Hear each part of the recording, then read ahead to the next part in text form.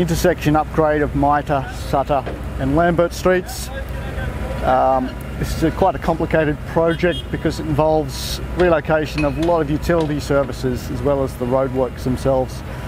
So we've been here since January doing water main adjustments and more or less that's what we're still doing.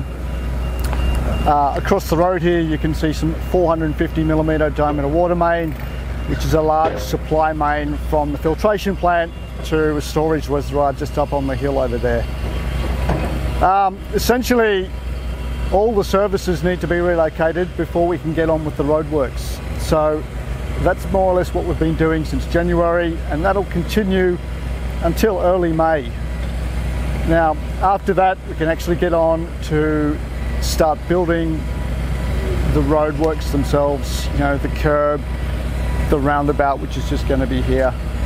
Um, so we're looking forward to seeing some progress on that in the coming months.